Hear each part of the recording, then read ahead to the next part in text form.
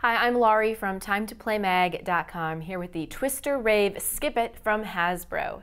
Parents and grandparents might remember the original Skip It from the 80s and 90s, but this version has the same fun and active play of the original with lights. You put the hoop of the Skip It around one foot and swing it while you hop over it with the other foot. Keep it going by moving your Skip It leg forward and back while hopping over it with your other foot.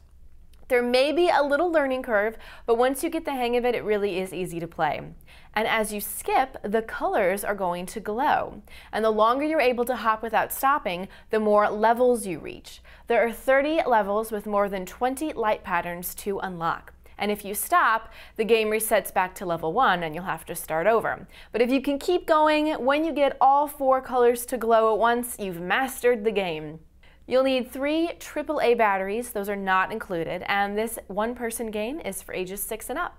If you want to find out more information on Twister Rave Skip It, such as how much it costs and where to buy, then come visit TimeToPlayMag.com, your number one source for all things play.